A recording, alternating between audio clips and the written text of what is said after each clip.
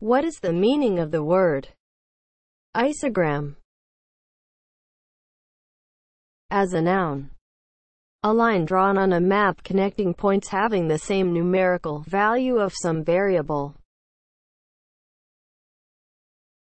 Isogram is spelled I S O G R A M. Isogram